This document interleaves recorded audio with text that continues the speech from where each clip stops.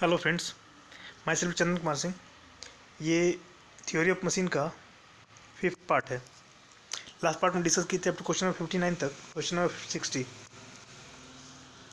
कह रहा the centre of gravity of a link in any mechanism would would experience कोई भी mechanism है, उसका सेंटर ऑफ़ ग्रेविटी उस कोई भी लिंक है, एक लिंक मान लीजिए। लिंक का सेंटर ऑफ़ ग्रेविटी ये है। दूसरा लिंक ये है, तीसरा लिंक ये है। तो हर एक लिंक का जो सेंटर ऑफ़ ग्रेविटी जो होता है, वो एक्सपीरियंस करता है both angular and linear acceleration angular acceleration and linear acceleration दोनों एक्सपीरियंस वो करता है। इसके बारे में थोड़ा सा हम डिस्कस कर लेते हैं।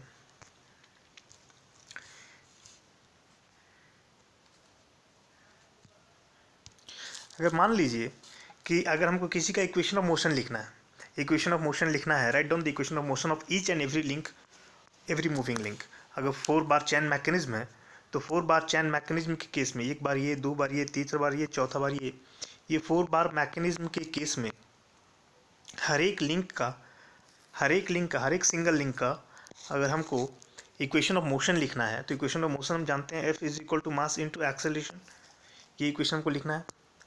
तो यदि N be the number of link है कोई एक कंसिडर करें जिसमें हम N be the number of link J be the number of joint J be the number of joint तो डिग्री ऑफ़ फ्रीडम क्या होगा? तो डिग्री ऑफ़ फ्रीडम होगा। लास्ट क्लास में हम लोग डिस्कस किए थे इसको कि अगर मान लीजिए मेरे पास एन लिंक है एन लिंक है तो एन लिंक में के पास एन लिंक है एन लिंक में से एक लिंक अगर हम भी फिक्स कर देते हैं तो एन लिंक में से एक लिंक अगर फिक्स कर देते हैं तो इतना number N minus one number जो है मूविंग लिंक है। अब वन लिंक के पास वन लिंक के पास जो डिग्री ऑफ़ फ्रीडम होता है, वो तीन होता है। वन लिंक के पास अगर प्लेनर मैकेनिज्म का बात कर रहे हैं तो वन लिंक अगर लिंक एक है मेरे पास तो उसका डिग्री ऑफ़ फ्रीडम जो होता है, वो तीन होता है।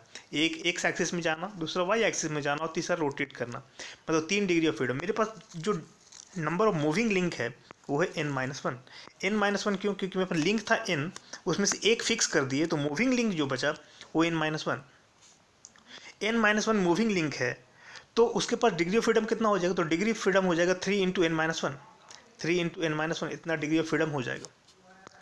अब नाउ अगर हम कोई ज्वाइंट का बात करते हैं ज्वाइंट अगर मेरा रिवॉल्यूट पेयर है मतलब पिन ज्वाइंट है पिन ज्वाइंट है तो उसमें जैसे मान लीजिए एक दूसरे बॉडी के साथ पिन ज्वाइंट है तो पिन ज्वाइंट जब रहता है तो उसमें एक एक्सिस से मूवमेंट नहीं होता वाई एक्सिस मूवमेंट नहीं होता, सिर्फ़ और सिर्फ़ रोटेशन होता है। मतलब दो डिग्री ऑफ़ फ्रीडम नहीं होगा, तीसरा डिग्री ऑफ़ फ्रीडम होगा। मतलब जितना ज्वाइंट होगा, जितना ज्वाइंट होगा, हर एक ज्वाइंट दो दो डिग्री ऑफ़ फ्रीडम नहीं होगा। तो अगर जे नंबर ऑफ़ ज्वाइंट है तो two J number of degree of freedom नहीं होगा। तो टोटल डिग्री ऑफ़ फ्रीडम कितना मिला? टोटल डिग्री ऑफ़ फ्रीडम मिला three into N minus one minus two J is equal to degree of freedom अब degree of freedom is equal to अगर one बना दे degree of freedom is equal to one बना दे degree of freedom one मतलब कि for a constant motion हमको unit motion चाहिए unit input output unit input output relationship चाहिए हमको।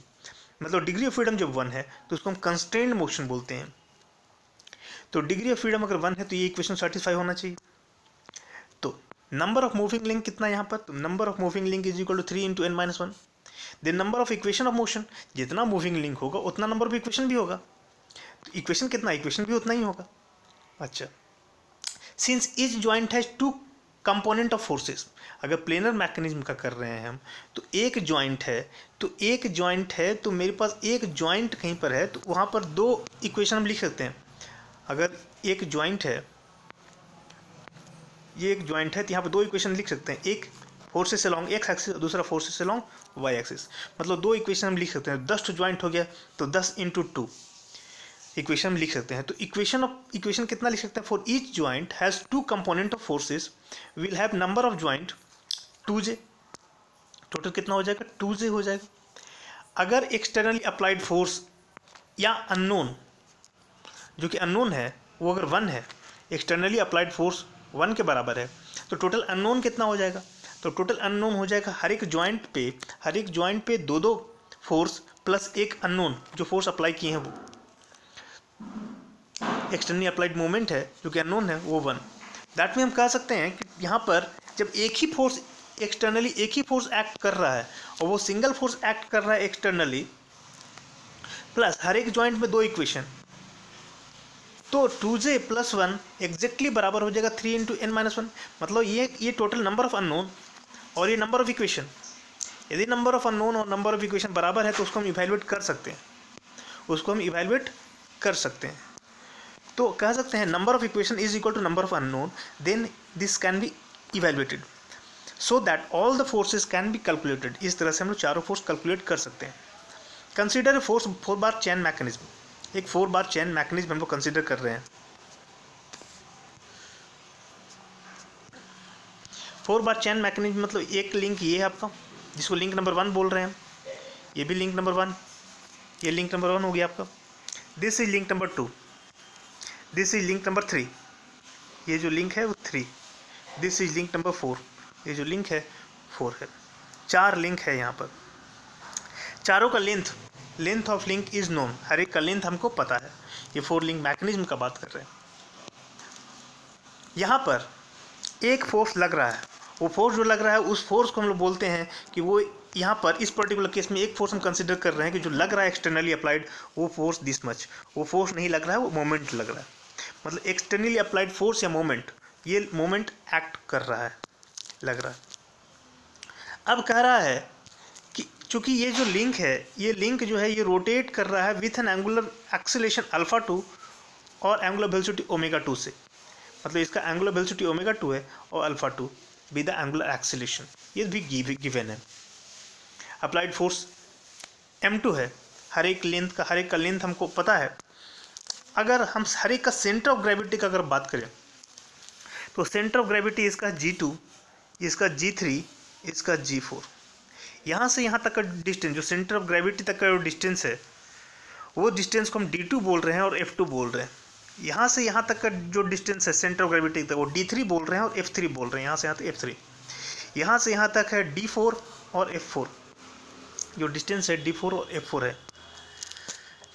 G two G three and G four be the centre of gravity का coordinate ये जो एंगल बना रहा है, इस एंगल को हम थीटा टू बोल रहे हैं, इस एंगल को हम बोल रहे हैं थीटा थ्री और इस एंगल को हम बोल रहे हैं theta four theta two theta three theta four अब now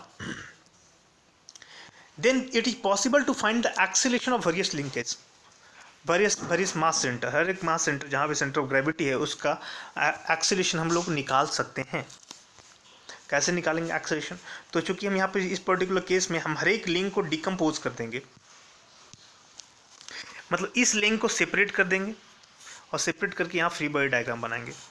इस लिंक को सेपरेट कर देंगे, इसका फ्री बॉडी डायग्राम यहाँ बनाएँगे। इस लिंक को सेपरेट कर देंगे, इसका फ्री बॉडी डायग्राम यहाँ बनाएँगे। पहले इस लिंक का बात करते हैं।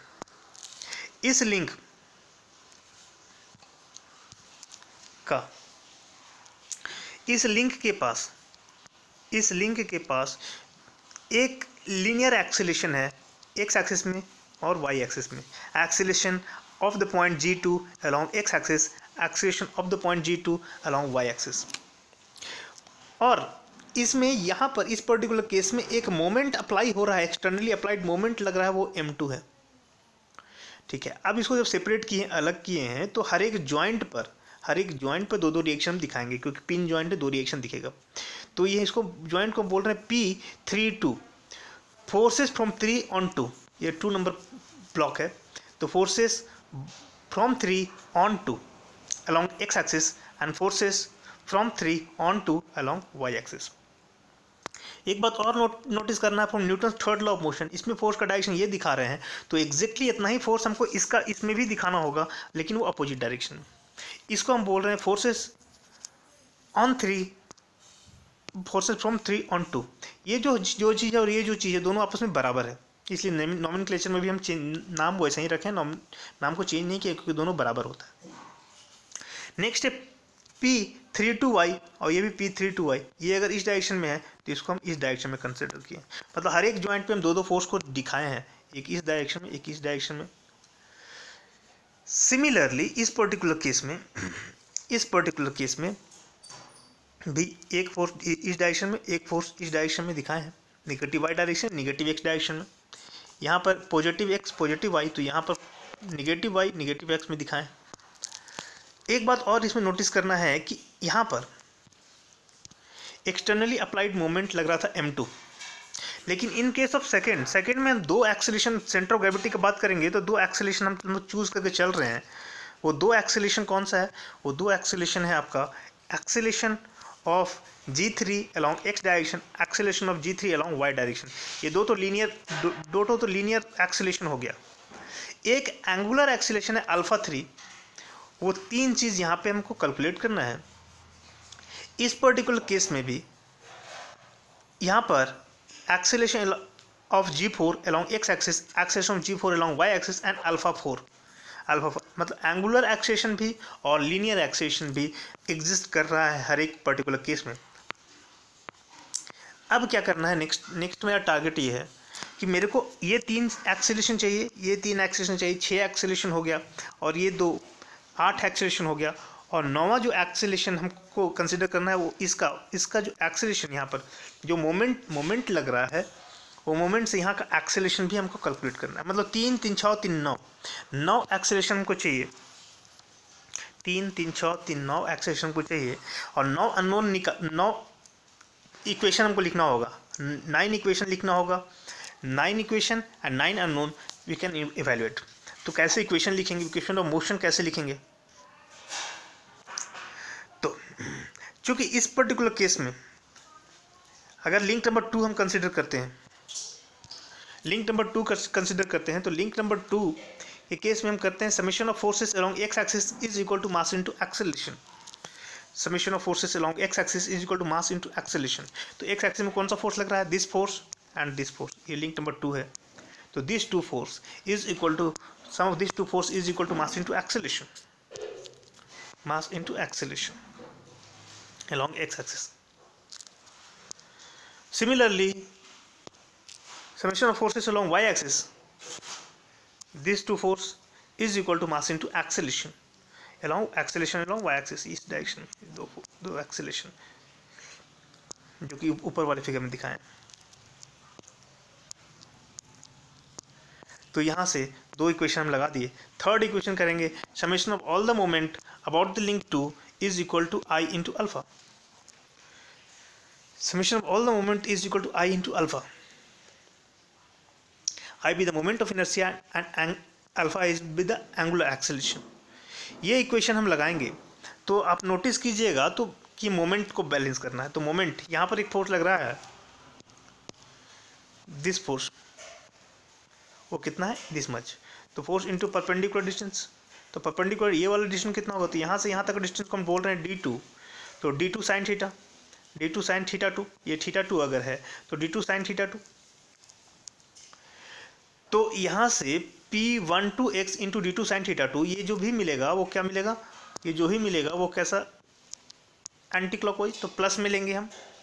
सिमिलरली आप इस फोर्स के वजह से, इस फोर्स के वजह से, इस पॉइंट पे मोमेंट निकालना होगा तो दिस इनटू दिस डिस्टेंस ये जो डिस्टेंस है यहाँ से यहाँ तक, ये डिस्टेंस ये ये आपको क्लॉकवाइज में देगा दैट मीन्स ये माइनस में। नेक्स्ट है this distance into this distance ये डिस्टेंस ये क्लॉकवाइज देगा, और this distance into this distance ये जो डिस्टेंस है।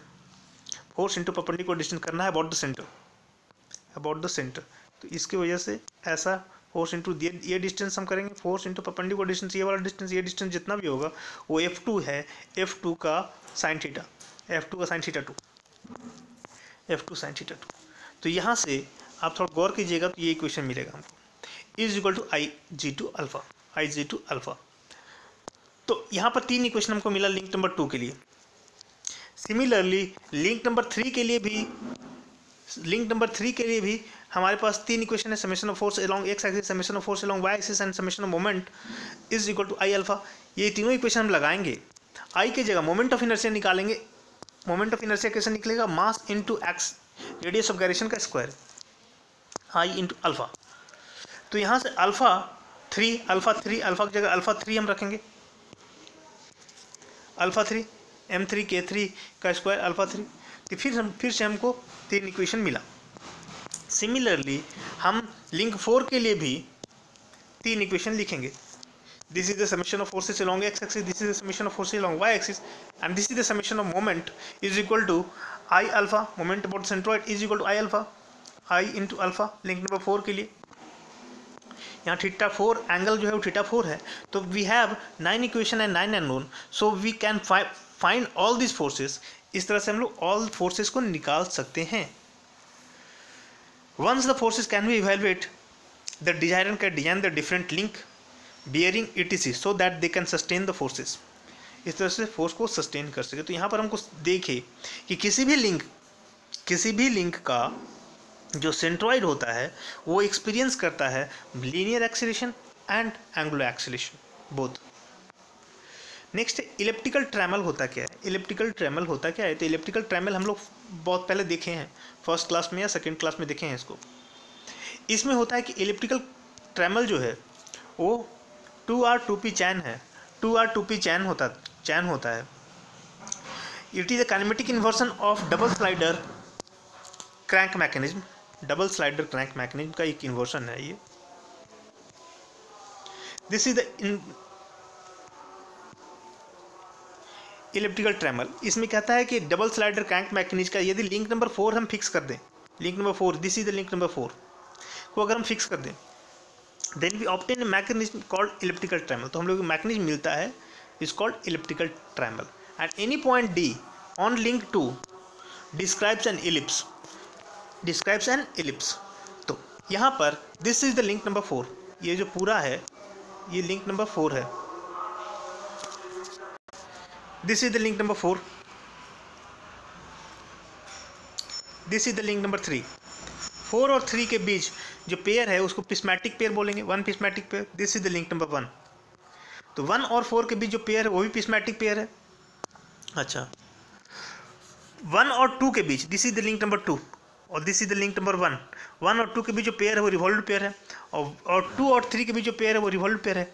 मतलब दो रिवॉल्व पेयर और दो पिस्मेटिक पेयर मिल करके जो चीज़ बनाएगा इसका नाम है इलेप्टिकल ट्रैमल इलेप्टिकल ट्रैमल में एक पॉइंट हम कंसिडर कर रहे हैं, जिस पॉइंट को हम बोल रहे हैं D this is the point D एक लिंक है आपका ये. ये डी जो है डिस्क्राइब करेगा एक इलिप्स को. ये डी क्या डिस्क्राइब करेगा? एक इलिप्स को डिस्क्राइब करेगा. इसलिए इसका नाम पड़ा इलिप्टिकल ट्रैमल इस पर्टिकुलर केस में केस में यहाँ से यहाँ तक को हम एक्स डी बोल रहे हैं. तो एक्स डी क्या होगा? ये पॉइंट का नाम है ए इस पॉइंट का नाम है डी तो ए डी का साइन थीटा ए डी का sine theta this angle is theta तो ए डी का साइन थीटा ए डी का कॉस थीटा ये हो जाएगा। और ए डी का साइन थीटा ए डी का sine theta is equal to this much similarly y D अगर निकालने की कोशिश करेंगे तो वाई डी क्या हो जाएगा? Y D C D sine C D cos theta ये एंगल अगर थीटा है तो ये एंगल थीटा है। तो सी डी ये डिस्टेंस है तो हमको ये ये चाहिए, इसको हम बोल रहे हैं वाई डी इसको हम बोल रहे हैं वाई डी वाई डी क्या हो जाएगा? सी डी का कॉस थीटा सी डी का कॉस थीटा तो यहाँ से sine theta is equal to this much x D by A D और यहाँ से cos theta is equal to y D by C D squaring and adding both side squaring and adding both side को add करेंगे तो squaring and adding the equation we get this equation this is the equation of ellipse this is the equation of ellipse this is the equation of ellipse the midpoint b of ac will describe a circle will describe a circle of radius o to b mid point जो इसका है इस seat ए का जो mid point है वो describe करेगा एक सर्कल और जो ये पॉइंट है ये डिस्क्राइब करेगा एक एलिप्स मानी एक any extended point and point A moves in a vertical straight line due to prismatic pair and point C moves horizontal straight line ये पहले हम डिस्कस कर चुके हैं।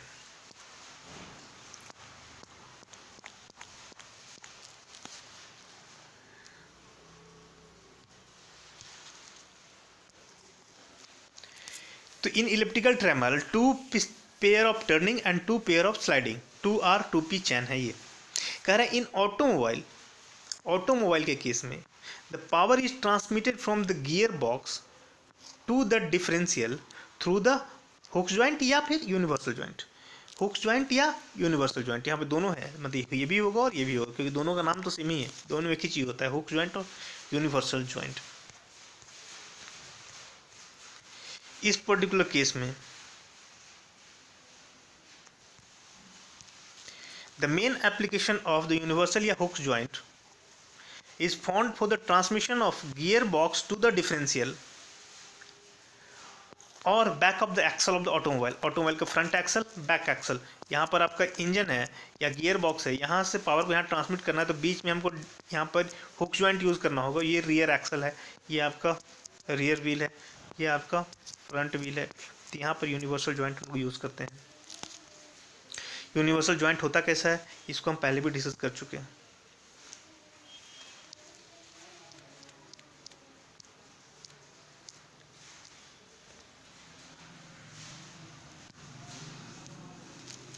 तो इसका यूनिवर्सल ज्वाइंट या हुक ज्वाइंट यहाँ पर दोनों है मतलब दोनों सही है।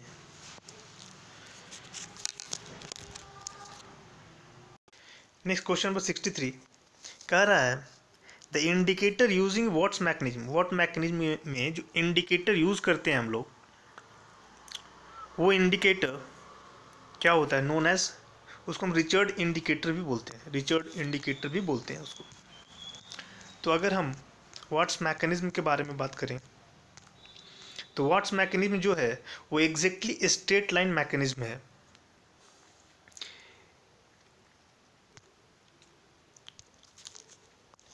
Watts indicator mechanism.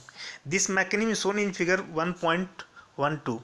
It consists of four link. इसमें चार लिंक का मैकेनिज्म है A fix link A link A C link C and link B F D मतलब चार लिंक यहाँ पर है। वाट्स इंडिकेटर मैकनी में चार लिंक है। लिंक वन जो कि फिक्स है। लिंक नंबर टू ये पूरा लिंक नंबर टू है।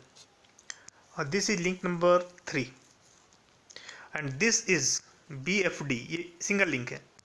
बी एफ़ डी जो है, वो सिंगल लिंक है। तो फोर लिंक मैकेनिज्म में ये सिंगल लिंक एक लिंक दोनों मिल करके एक लिंक बनाता है। बी एफ़ और एफ़ डी पूरा एक लिंक है। ये दूसरा लिंक है, ये तीसरा लिंक है और एक लिंक मेरा फिक्स है। इस पर्टिकुलर इस पर्टिकुलर में ये जो टर्म है, वो एडिशनल हम लोग ऐड किए हैं। मैकेनिज्म मेरा है जो इतना ही है मैकेनिज्म मैकेनिज्म मेरा इतना ही है। इसमें जैसे ही ये वाला पोर्शन नीचे आता है मेरा, जैसे पिस्टन एक्चुएट होगा तो नीचे की तरफ़ आएगा तो ई जो है, वो एग्जैक्ट स्ट्रेट लाइन डिराइव करता है। ई जो है एग्जैक्ट स्ट्रेट लाइन डिराइव करता है। मतलब ई जो मूव करेगा, वो एग्जैक्ट स्ट्रेट लाइन में मूव करेगा। ये कभी यहाँ जाएगा, कभी यहाँ जाएगा मतलब पूरा मैकेनिक इस तरह से डिज़ाइन किया गया है कि ई जो है एग्जैक्ट स्ट्रेट लाइन डिराइव करता है। तो एग्जैक्ट एक एक स्ट्रेट लाइन मैकेनिज्म है ये। The indicator was first invented by Watt's James Watt इसको सबसे पहले इन्वेंट किया था। But the improve from the instrument shown in the figure and known as Richard indicator इसको रिचर्ड इंडिकेटर बाद में थोड़ा सा इंप्रूव किया, इसलिए रिचर्ड इंडिकेटर के नाम से इसको जानते हैं हम लोग। इसमें the displacement of link B F D B F D जो ये वाला जो था, ये बी था एफ़ था और डी था B F D is directly proportional to the pressure of the indicator cylinder pressure of indicator cylinder, अगर ये इंडिकेटर सिलेंडर है, सिलेंडर पिस्टन का अरेंजमेंट है तो कितना प्रेशर है, वो डायरेक्ट डायरेक्टली इंडिकेट करता है कि बीएफडी मेरा कितना डिस्प्लेस हुआ है। And the point E on link C C में पॉइंट ई e जो है will trace out approximately straight line वो एक स्ट्रेट लाइन ड्रॉ करता है ट्रेस करता है। सी जो है, वो एक स्ट्रेट लाइन ड्रॉ करता है। This is also called double lever mechanism इसको हम डबल लीवर मैकेनिज्म भी कहते हैं। इसको हम डबल लीवर मैकेनिज्म भी कहते हैं। तो ये है what's integrator mechanism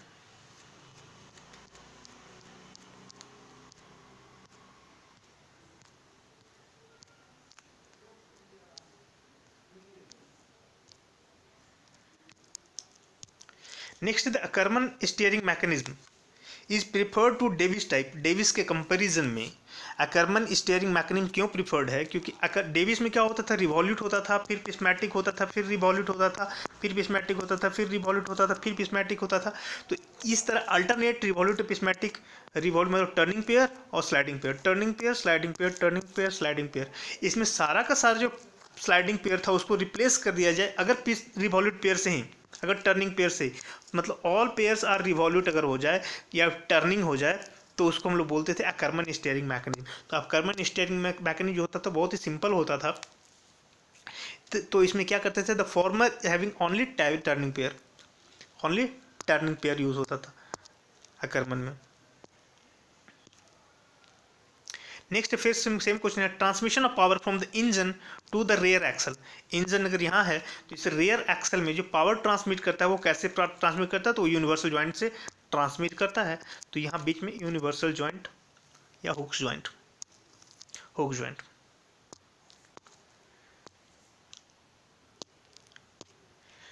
when a ship travels in a sea जब कोई सिप है, जो कि सी में ट्रेवल कर रहा है इसमें क्या होता है थोड़ा सा अगर हम ये ये वाटर है और ये आपका सिप है दिस इज़ सिप इसका टॉप व्यू अगर देखें टॉप व्यू हमको ऐसा दिखेगा। दिस इज़ सिप यहाँ पर दो एक्सिस है, एक एक्सिस ही, एक एक्सिस है। इस एक्सिस को बोलते हैं एक्स एक्सिस और इसको हम लोग बोलते हैं वाई एक्सिस और ये, अगर ये वाई एक्सिस के अबाउट वाई एक्सिस के अबाउट रोटेट करता है तो उसको हम लोग बोलते हैं रोलिंग वाई एक्सिस के अबाउट रोटेट करना मतलब ऐसे जाएगा ऐसे जाएगा, ऐसे ऐसे ऐसे अगर रोटेट करता है तो इसको बोलते हैं हम रोलिंग तो वाई एक्सिस के अबाउट ये रोटेट करेगा तो उसको हम बोलेंगे रोलिंग और अगर एक्स एक्सिस के रिस्पेक्ट में अगर वो रोटेट करेगा मतलब वो ऐसे ऐसे रोटेट करेगा तो उसको बोलते हैं पिचिंग पिचिंग यहाँ पर दो इंपॉर्टेंट था टर्म था रोलिंग अगर ये जो बोट है, या जो इंजन है ये मेरा सिप है, ये सिप जो है, ये सिप अगर वाई एक्सिस के अबाउट ये रोटेट करता है तो उसको हम लोग बोलते हैं रोलिंग अगर एक्स एक्सिस के अबाउट ये रोटेट करता है तो इसको हम लोग बोलते हैं पिचिंग अब रहा बात कि अगर हम रोलिंग या पिचिंग अगर समझ गए हैं तो हमको ये समझना ज़रूरी है कि जैसे मान लीजिए कि अगर हम इसका टाइम पीरियड जो होता है, कितना देर तक ये ऑक्सीलेट करेगा, ये वाई एक्सिस के रिस्पेक्ट में। है ये आपका एक्स एक्सिस है। तो ये कोई एक एलिमेंट कंसिडर कर, करेंगे, कोई एक एलिमेंट कंसिडर करेंगे तो इसका जो डिस्टेंस है ये वाला वाई एक्सिस ये जो डिस्टेंस है, ये डिस्टेंस कम है। लेकिन यदि हम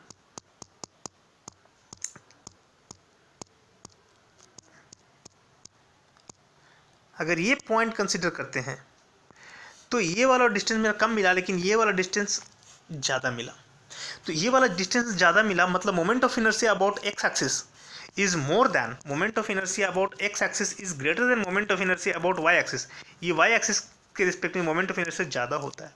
अब time period is directly proportional to root under I तो अगर आई जो है आई जो है ज़्यादा किसके अबाउट तो ज़्यादा पिचिंग में होगा। पिचिंग में मोमेंट ऑफ़ इनर्सी आपका ज़्यादा होता है। क्योंकि मोमेंट ऑफ़ इनर्सी ज़्यादा क्यों होता है? क्योंकि एक एक्सिस के अबाउट जगह रोटेट करता है, उसको हम पिचिंग बोलते हैं। तो ये अगर कोई एलिमेंट कंसिडर किए तो इसका ये जो डिस्टेंस है moment of inertia about Y axis वो ज़्यादा है। तो मोमेंट ऑफ़ इनर्सी अगर वाई एक्सिस ज़्यादा है तो कहने का मतलब है कि टाइम पीरियड अगर हम लिखें तो time period directly proportional root under I Y या root under I X time period directly proportional to root under I X तो अगर इन केस ऑफ़ पिचिंग का अगर हम बात करें तो पिचिंग के केस में पिचिंग अगर वाई एक्सिस के अबाउट ये रोटेट करता है तो इसको बोलते हैं रोलिंग और एक्स एक्सिस के अबाउट ये रोटेट करता है, इसको बोलते हैं पिचिंग ज़्यादा कौन होगा? तो ज़्यादा टाइम पीरियड ज़्यादा जो है, वो किस पर्टिकुलर केस में? क्योंकि हम जानते हैं moment of inertia about Y axis ये कम होता है रोलिंग के केस में कम होता है, और ये वाला टर्म पिचिंग के केस में ये वाला टर्म आपका ज़्यादा होता है। ये वाला टर्म ज़्यादा होता है तो ये टाइम पीरियड इसका ज़्यादा होगा लेकिन मोर डेंजरस होगा इस इस पर्टिकुलर केस में। तो अगर हम ये बात करें रोलिंग के केस में बहुत टाइम पीरियड चूँकि कम है क्योंकि आई वाई कम है moment of inertia about Y axis ये कम है तो टाइम पीरियड यहाँ पर कम मिलेगा। इसका मतलब आई वाई कम है तो टाइम पीरियड कम। टाइम पीरियड कम मतलब बहुत जल्दी जल्दी ये आ, रोल करेगा। लेकिन पिचिंग बहुत धीरे धीरे होगा टाइम पीरियड बहुत ज़्यादा है मतलब पिचिंग बहुत स्लोली होगा, लेकिन वो मोर डेंजरस होता है, क्योंकि इसका मोमेंट ऑफ़ इनर्सी ज़्यादा होता है। इसलिए मोमेंट ऑफ़ इनर्सी बहुत एक से ज़्यादा होता है, इसलिए इस पर्टिकुलर केस में हमको ध्यान रखना है कि पिचिंग के केस में पिचिंग के केस में आपका मोर डेंजरस होता है। मोर डेंजरस की जब भी बात आए तो आप समझिए पिचिंग के केस में मोर डेंजरस सिचुएशन आ जाता है। नेक्स्ट है इन एन आइडियल मशीन, अगर आइडियल मशीन का बात कर रहा है, the output as compare to input. Ideal machine मतलब आइडियल, ऐसे भी जहाँ कहीं भी आइडियल का वर्ड आता है, इसका मतलब यह है कि लॉसेस कम होता है लॉसेस नहीं के बराबर होता है। मतलब जितना हम इनपुट दिए आउटपुट भी मेरा उतना ही निकला। तो इसमें लॉसेस नहीं हुआ। जब लॉसेस नहीं होता है तो उसको हम बोलते हैं आइडियल मशीन। लेकिन in the case of theory of machine में, आइडियल मशीन में क्या होता है? आइडियल मशीन में यहाँ पे भी वही होता है कि input is equal to output और efficiency is equal hundred percent efficiency क्या होगा? हंड्रेड परसेंट होगा। इफिशियंसी आपका हंड्रेड परसेंट होगा। अगर हम एक टर्म का बात करें जिसको बोलते हैं हम लोग मैकेनिकल इफ़ एडवांटेज बोलते हैं मैकेनिकल एडवांटेज क्या होता है? Load upon effort load upon effort load मतलब कितना? लोड लगा मतलब आउटपुट वेट कितना उठाया है वो? अपॉन इफर्ट कितना इफर्ट हम लगाए? वो इफर्ट लोड अपॉन इफर्ट ये मैकेनिकल एडवांटेज होता है। आइडियल मशीन कहते हैं किसको? है if the friction of machine is negligible यदि फ्रिक्शन नहीं हो and the machine is known as ideal machine in ideal machine efficiency is 100% efficiency 100% and the output is equal to input, output input के बराबर है। Equating the input and output given by the equation 9.1 and 9.2 जो ऊपर में भी है तो उस, उसमें हम उतना जान नहीं रहे हैं। हम सिंपली यहाँ पर एक चीज़ जानते हैं y by X Y by X को बोलते हैं हम लोग वेलोसिटी रेशियो और वेट अपॉन इफोर्ट इफोर्ट को हम लोग बोलते हैं मैकेनिकल एडवांटेज ये वेलोसिटी रेशियो है आपका। तो अगर ये जितना मोमेंट होगा this due to this force is equal to this force के बराबर होगा तो कह सकते हैं कि आइडियल मशीन के केस में जितना वेलोसिटी रेशियो होगा, वो मैकेनिकल एडवांटेज के भी बराबर होता है। ये भी याद रखिएगा मैकेनिकल एडवांटेज के बराबर होता है क्योंकि लॉसेस बहुत ही कम होता है। अगर नेक्स्ट अगर इफिशियंसी ऑफ़ मशीन का बात करें in terms of mechanical advantage तो मैकेनिकल एडवांटेज को हम लोग बोलते हैं डब्ल्यू और वाई बाई एक्स को हम लोग बोलते हैं वेलोसिटी रेशियो तो इफिशियंसी हम जानते हैं आउटपुट बाय इनपुट आउटपुट क्या? तो this is my output this is my input this is the output this is the input यहाँ से आपको ये मिला कि इफिशियंसी जो होता है mechanical advantage by velocity ratio के बराबर होता है। ये बात भी ध्यान रखना है। नाउ आपको सिर्फ़ यहाँ पर यह दिखाना था हमको कि आइडियल मशीन क्या होता है। तो आइडियल मशीन वैसा मशीन जहाँ पर लॉसेस बहुत ही कम होता है। That means efficiency is equal hundred percent efficiency जब हंड्रेड परसेंट होगा, जितना इनपुट होगा, उतना ही आउटपुट निकलेगा। तो उसको बोलते हैं हम लोग ideal machine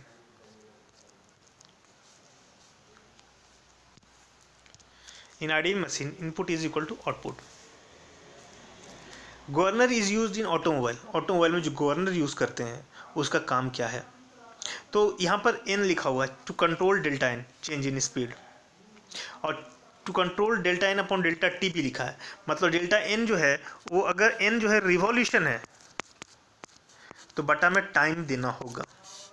अगर एन जो है आरपीएम है तो टाइम उसमें दिया हुआ है। इसमें एन क्या है, वो नहीं बताया है। इसलिए to control delta N by delta T क्योंकि डेल्टा एन को हम रिवॉल्यूशन मान रहे हैं। डेल्टा एन को रिवॉल्यूशन मान रहे हैं। नौ थोड़ा सा हम गवर्नर के बारे में डिस्कस कर लेते हैं। नेक्स्ट गवर्नर गवर्नर होता है कि governor may be defined as the device for regulating automatically output of a machine by regulating the supply of working fluid working fluid को सप्लाई करते हुए उसके आउटपुट को रेगुलेट किया जाता है। सपोज़ कीजिए वेन द स्पीड डिक्रीज है जब स्पीड घटेगा इंजन का due to increase in load load बढ़ गया लोड बढ़ गया तो स्पीड घट गया। हमको क्या करना है? स्पीड को बढ़ाना है। स्पीड को बढ़ाने के लिए क्या चाहिए? हमको ज़्यादा स्टीम देना होगा, ज़्यादा ईंधन देना होगा, ज़्यादा एनर्जी देना होगा। तो कहने का मतलब है मेरा मेरा जो भाल्व है, वो पूरा ओपन हो जाना चाहिए। तो कह रहा है when the speed decrease due to increase in load then the supply valve is opened by a mechanism operated by the governor, and the engine therefore speeds up, and again to its original speed जैसे कि मान लीजिए, इस particular case में क्या हो रहा है जैसे मान लीजिए कि ये एक गवर्नर है। गवर्नर में जो जो हम लोग सप्लाई कर रहे हैं, वो स्टीम सप्लाई कर रहे हैं इंजन में। ये इंजन का व्हील है आपका, इंजन का व्हील रोटेट कर रहा है और ये ये स्टीम जो है वो आपका इंजन की तरफ़ जा रहा है। ये this is the governor mechanism whole governor mechanism आपको ऐसा दिखेगा। इस गवर्नर मैकेनिज्म में क्या होता है कि वर्टिकल सैप्ट के ऊपर एक स्लीव लगा होता है स्लीव के ऊपर कुछ वेट हम लोग रख देते हैं। और ये एक फोरलिंग मैकेनिज्म इस तरह से जुड़ा हुआ है। ये एक बॉल बॉल है। तो जैसे मान लीजिए कि अगर मेरे पास स्पीड क्या हो गया? घट गया। स्पीड घटेगा तो ये बॉल आपका नीचे की तरफ़ आएगा ड्यू टू ग्रेविटी की वजह से। ड्यू टू ग्रेविटी की वजह से नीचे की तरफ़ आएगा जब भी नीचे की तरफ़ आएगा तो ये वाला ये वाला जो चीज़ है। ये वाला चीज़ आपका किधर जाएगा? ये वाला चीज़ आपका नीचे की तरफ़ जाएगा, नीचे की तरफ़ आ रहा है मतलब नीचे की तरफ़ आएगा, नीचे की तरफ़ जाएगा मतलब कहने, कह सकते हैं हम कि ये जो टर्म है, जैसे ये नीचे की तरफ़ आएगा तो इसको इस डायरेक्शन में पुश करेगा। इस डायरेक्शन में पुश करेगा तो ये थोड़ा सा आगे रोटेट करेगा ये पूरा का पूरा ओपन हो जाएगा। पूरा ओपन हो जाएगा मतलब ज़्यादा मात्रा में स्टीम का फ्लो होने लगेगा। और ज़्यादा मात्रा में स्पीड का फ्लो होने लगेगा दैट मीन्स इंजन ऑटोमेटिकली अपने ओरिजिनल स्पीड में आ जाएगा। लेकिन if this working at very high speed अगर वेरी हाई स्पीड से वर्क कर रहा है दैट मीन्स उस वक्त स्पीड अगर ज़्यादा है तो हमको क्या करना फ्यूल का सप्लाई कम करना होगा। फ्यूल का सप्लाई को कम करेंगे, ताकि स्पीड मेरा स्लो डाउन होकर के डिज़ाइन स्पीड तक आ जाए और डिज़ाइन स्पीड में इसलिए आ जाए ताकि डिज़ाइन स्पीड में हमको मैक्सिमम एफिशिएंसी देता है। तो अगर मान लीजिए कि लिफ्ट अप होता है लिफ्ट अप होता है तो उस पर्टिकुलर केस में ये जो ये जो है आपका, जैसे ऊपर की तरफ़ जाएगा तो ये वाला ये वाला टर्म है, वो आपका इस डायरेक्शन में जैसे ऊपर गया तो ये वाला इस डायरेक्शन में जाएगा, आपका इस डायरेक्शन में जाएगा तो ये चीज़ क्या हो जाएगा? क्लोज हो जाएगा। जैसे इस डायरेक्शन में जाएगा तो ये चीज़ क्लोज हो जाएगा। तो इस, जैसे ही ऊपर की तरफ़ जाता है, ये बॉल तो ये आपका क्लोज हो जाएगा। क्लोज हो जाएगा मतलब कि यहाँ फ्यूल का सप्लाई बंद हो जाएगा। फ्यूल का सप्लाई बंद हो जाएगा तो इंजन अपने डिज़ाइन स्पीड में वापस आ जाएगा। तो this is the principle of governor इस गवर्नर को हम लोग वर्ड्स गवर्नर बोलते हैं। तो कह रहा है governor is a device device device which is used for regulating the automatically output of the engine of the machine by regulating the supply of the working fluid when the speed decreases जैसे जैसे speed क्या होगा घटेगा due to increase in load the supply valve is opened by a mechanism operated by the governor and engine therefore speeds up again to the original speed and if the engine speed increases यदि engine का speed आपका बढ़ जाता है due to decrease in load वो ऐसा क्यों होता है जैसे लोड घटा तो लोड घटा मतलब आउटपुट में जो लोड लग रहा है रेजिस्टेंस जो लग रहा है वो घट गया। लोड घट घटेगा दैट मीन स्पीड बढ़ेगा। स्पीड अगर बढ़ेगा तो गवर्नर मैकेनिज्म क्या करता है? भाल्व को क्या करता है? थोड़ा सा क्लोज कर देता है। Close the supply valve sufficiently to slow the engine to the original speed Thus, the function of governor is to control the fluctuation of engine speed due to change in load. Fluctuation of engine speed. Fluctuation of engine speed. Due to change in load को control करता है governor ये ध्यान देना है।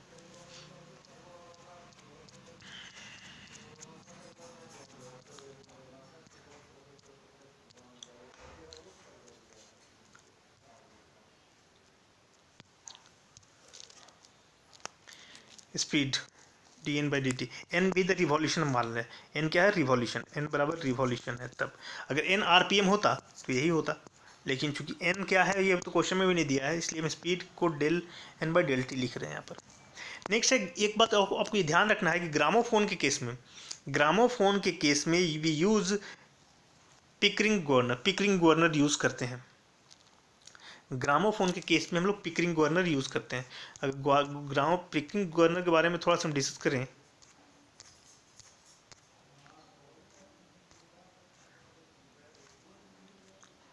ये है आपका Pickering governor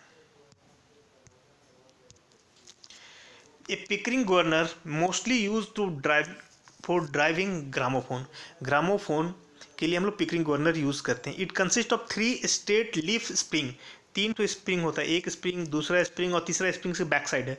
ये स्पिंडल है। ये स्पिंडल है। इसके बैक साइड होता है। यहाँ सेंटर में एक मास अटैच होता है। ये आपका स्लीव है। स्लीव जैसे ही लोड बढ़ेगा या घटेगा, उस उस पर ये ऊपर नीचे स्लाइड करेगा स्पिंडल के ऊपर और वो कुछ इस तरह का सेंटर में इस तरह वो फैलेगा और सिकुड़ेगा। इस, ये जो है स्पिंडल जो है वो इस स्टॉप दिया हो रहता है यहाँ पर। स्टॉप से ऊपर नहीं जा सकता है।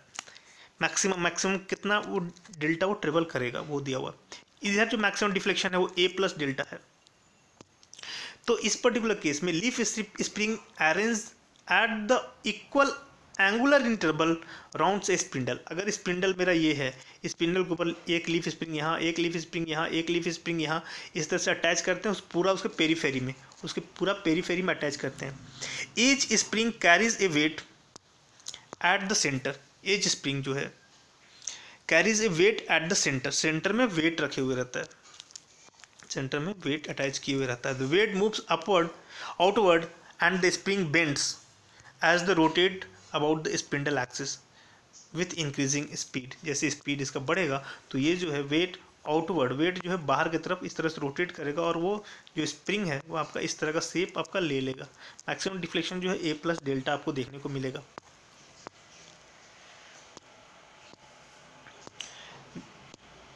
Governor is at rest. When the governor rotate the spring together the weight is deflected as shown in the figure ऐसा डिफ्लेक्ट होगा। वेट जो होगा डिफ्लेक्ट इस तरह the upper end of the spring is attach by sleeve sleeve upper end is attach with the sleeve और hexagonal nut to the governor spindle अब यहाँ पर थोड़ा सा गौर कीजिए। ये इंड भी फिक्स है, और ये इंड भी फिक्स है। अगर ये फैलता है यहाँ लोड जो लग रहा है वो सेंटर में लग रहा है। तो दोनों बोथ इंड फिक्स है। उस पर्टिकुलर बीम में जो डिफ्लेक्शन आपको देखने को मिलेगा, वो डिफ्लेक्शन का जो फॉर्मूला होता है, वो डिफ्लेक्शन का फॉर्मूला होता है, अगर लोड लग रहा है डब्लू तो W L Q by one ninety two E I ये डिफ्लेक्शन का फॉर्मूला है। W L Q one ninety two E I E be the Young's modulus L be the length E I be the moment of inertia moment of inertia जो इस particular case में होगा, वो B T Q by बारह होगा। तो Pickering governor case में जो सेंट्रीफ्यूगल फोर्स या डब्लू जो है लोड जो है सेंट्रीफ्यूगल फोर्स वो लोड डब्लू की जगह पर जो सेंट्रीफ्यूगल फोर्स लगेगा अंदर की तरफ़, वो कितना लगेगा? तो सेंट्रीफ्यूगल फोर्स लगता है एम ओमेगा स्क्वायर आर इस डायरेक्शन में यहाँ पर दो तरह का फोर्स लगता है। ये सेंट्रीफ्यू सेंट्रीफ्यूगल फोर्स जो लगता है, वो कितना लगता है? एम ओमेगा स्क्वायर आर की जगह A plus delta A plus delta इतना कंट्रोलिंग फोर्स लग रहा है। या सेंट्री या या फिर सेंट्रीफ्यूगल फोर्स लग रहा है। अगर सेंट्रीफ्यूगल फोर्स ये है तो डब्लू के जगह पर डब्लू के जगह पर ये टर्म हम डालने के बाद मेरे पर डिफ्लेक्शन ये मिलता है। ये ध्यान रखना है डिफ्लेक्शन का फॉर्मूला ये है इस पर्टिकुलर केस में। और इसमें कुछ ज़्यादा कुछ नहीं होता है। This is the Pickering corner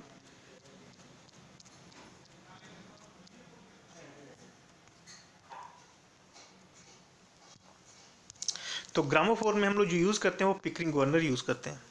next है फॉर फ्लक्चुएटिंग लोड लोड अगर फ्लक्चुएट कर रहा है विथ वेल सूटेड बेरिंग कौन सा है तो उसमें निडिल रोलर बेरिंग ये निडिल रोलर बेरिंग का काम क्या है?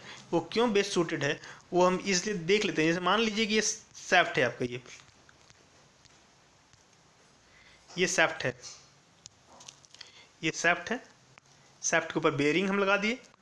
अब जो बेरिंग लगाए, यहाँ पर जो बेरिंग लगा है, वो है cylindrical roller bearing roller bearing है। लेकिन यहाँ पर जो बेरिंग है, ये क्या है? निडल टाइप बेरिंग है। अगर ये फ्लक्चुएट करता है इस डायरेक्शन में, इस डायरेक्शन में फ्लक्चुएट करता है लोड सेफ्ट जब आगे पीछे इस डायरेक्शन में फ्लक्चुएट करता है तो ये नीडल भी आगे पीछे फ्लक्चुएट करेगा।